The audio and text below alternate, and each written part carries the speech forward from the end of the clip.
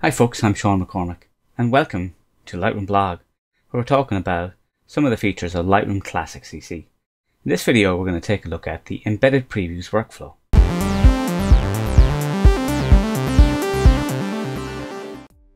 So let's look at the embedded preview workflow. To do this there are a couple of options that you need to look at first of all in preferences. Um, if you're using a mirrorless camera and you've shot RAW plus JPEG to take advantage of the larger preview that you get by having a RAW file being used as the preview, it doesn't matter if you have three JPEGs next to RAW files turned on or off, it will import the JPEGs anyway as sidecar files. They just don't get treated as normal files.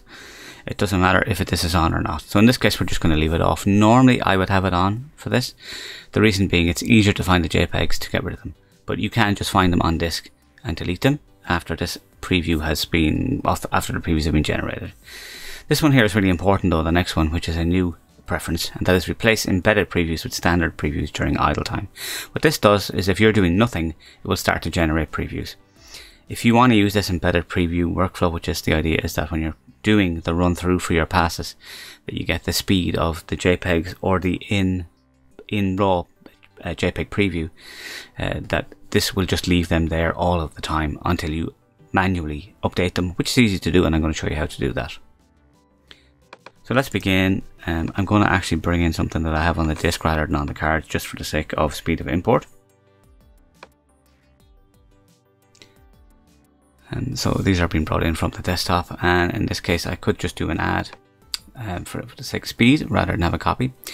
But the most important thing here is build previews has to be switched to embedded and sidecar. That way it's not going to generate any other previews. This is the most important thing about it. Now these have raw or JPEGs with them as well. So that's because they were shot on a mirrorless camera, which only has a like roughly a half size preview in it. So what I'm going to do is I'm going to click import and it will import the files at their current location.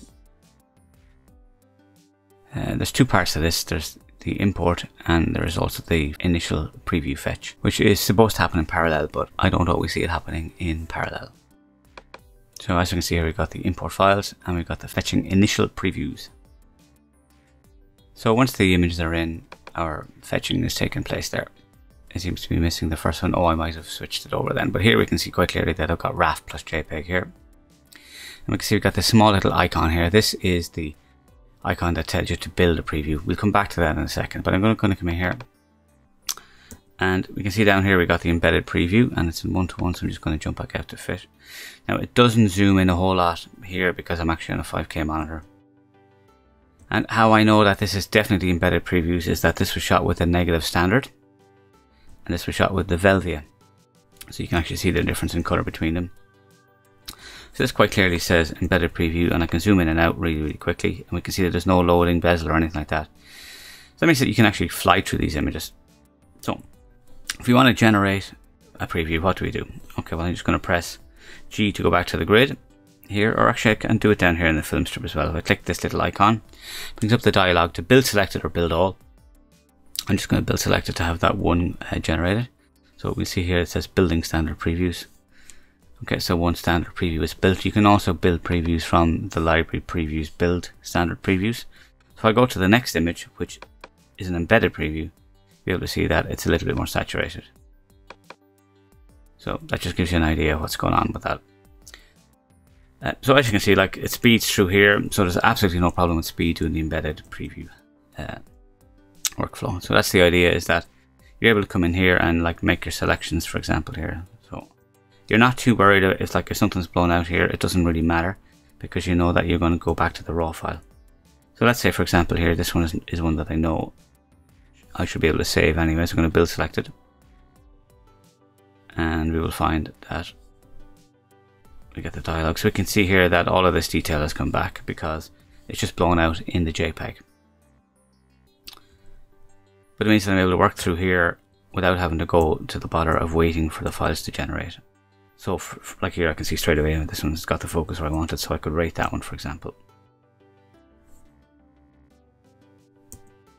So folks that is the embedded JPEG preview that now exists in Lightroom Classic CC. It gives you the speed of what you get from Photo Mechanic and other workflows that use the embedded previews inside the raw files or even just the JPEGs themselves. So it allows you to make very, very quick selections in comparison to how it used to be when you were waiting for the previews to generate. Hey folks, hope you got something out of that. Please subscribe if you haven't already. Hit the notification bell if you'd like to get notified when new videos come online. Do like the video if you thought it was good and share it on your social media. Appreciate that very, very much. Thanks for taking time to watch this and I will see you in the next video.